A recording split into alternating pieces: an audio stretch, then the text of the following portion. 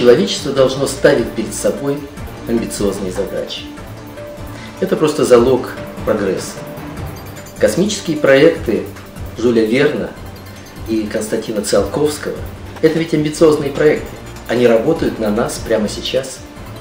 Не менее амбициозным проектом являются проекты движения 2045, которые нацелены на создание искусственного тела человека для его реабилитации, для продления жизни.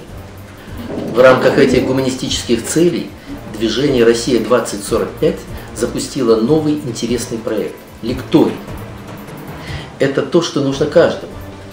В рамках лектория можно узнать о новых технологических достижениях, о последних э, известиях из области медицины, где э, прямо на наших глазах делаются революционные открытия.